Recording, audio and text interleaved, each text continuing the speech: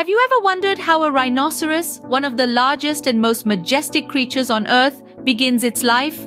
Today we dive into the intriguing life cycle of these gentle giants. Picture the birth of a rhinoceros calf, a moment that marks the beginning of a fascinating journey.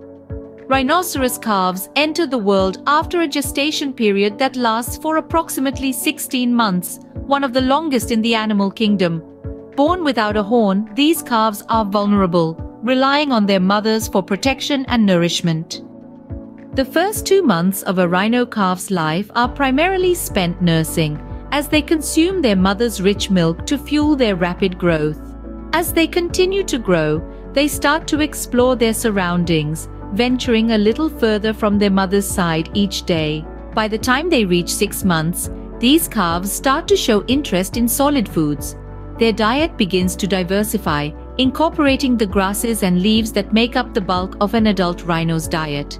Around this time, a small bump starts to appear on their snout, a precursor to the formidable horn they will sport as adults. As they transition into their second year, rhino calves start to gain more independence. They begin to wander farther from their mothers, exploring their environment and learning the skills they will need as adults. When they reach about three years old, the calves are weaned off their mother's milk. This is a significant milestone as they are now fully dependent on a diet of vegetation. Their horns have also grown significantly, providing them with a means of defense. The time comes for these young rhinos to leave their mother's side around the age of five. They are now considered subadults ready to face the world on their own. At this stage, they have developed the thick armor-like skin and robust horn that are the hallmarks of their species. From the age of 7, these rhinos are considered adults. They are now ready to mate and continue the cycle of life. The males engage in fierce battles for dominance and the right to mate, while the females prepare for the lengthy gestation period ahead. And so, the circle of life continues, each generation of rhinoceros contributing to the survival and evolution of their species.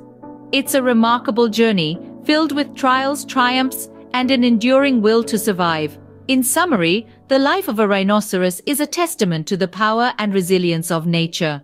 From their birth to their transition into adulthood, these creatures embody the raw beauty and complexity of the natural world. Their journey is a testament to the intricate balance of life, a balance that we, as custodians of this planet, must strive to preserve.